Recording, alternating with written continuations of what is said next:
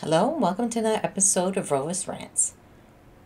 Former MVP Giannis Antetokounmpo has just signed a three-year deal with the Milwaukee Bucks. His contract extension is worth $186 million for the next three years. Giannis had a deadline of today at 11:59 to sign the contract, and he was quick to tweet out that "Let's go get it" uh, once the deal was done.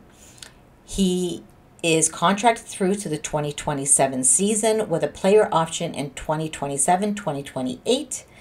Uh, I kind of figured he would make do on his contract extension. Uh, a month ago, they signed Damian Lillard, uh, which would be a great asset to the Milwaukee Bucks.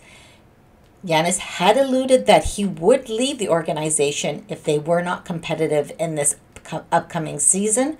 Um, even though they have have Thanasis on the team, and earlier they had signed Alex in hopes of retaining his G League uh, rights because the NBA roster was full.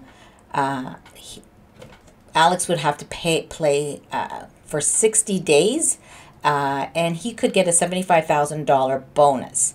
So it looks like Giannis and the brothers will be staying in Milwaukee.